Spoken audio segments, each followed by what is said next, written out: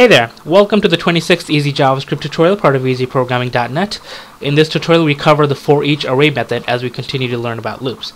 The for each method iterates through each array item and executes a block of code. It'll complete when it has gone through every item in the array. Um, so this actually iterates through array items, which is extremely useful, and you'll probably use this in the future. So the syntax of the array for each array method uh, starts off with array, since remember it's a method of an array object, so array dot for each, and in parentheses you include an anonymous function.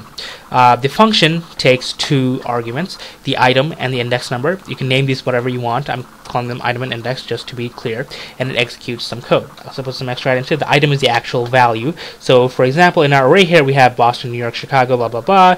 These are the items. So if you do item uh, item index 1, you'll get New York. Item index 3, you'll get uh, Miami and the index is the actual index number i. So it'll be 0, 1, 2, 3, 4, 5, 6.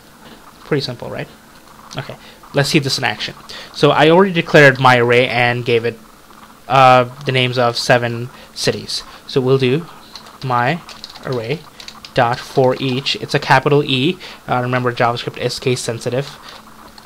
We'll do an anonymous function, and we'll do close and open curly braces and end it with a semicolon because remember we're working with objects. Um, so the function takes two arguments.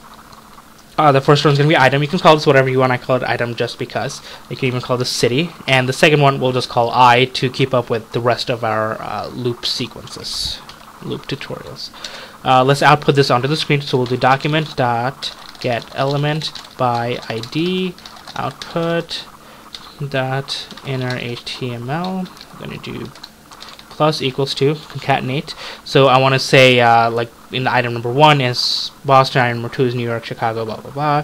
So the I concatenate it one more time. Uh, use a colon. And we'll do item. Remember, item is one of the arguments being passed down. Plus, and then we'll do a line break here, and that's all there is. So read over it. I'm sure you know what this is by now. Uh, I've covered all of this in the past. So we'll do update and run.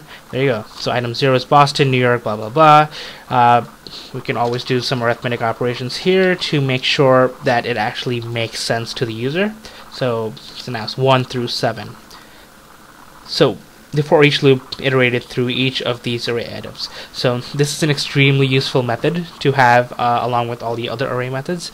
Um, but yeah, that's all there is to the for each method. Uh, if you have any questions, please ask in the comments below. Uh, remember to visit my website at easyprogramming.net and check out the W3 Schools page on the for each loop for more examples. Thanks for watching. Have a good one.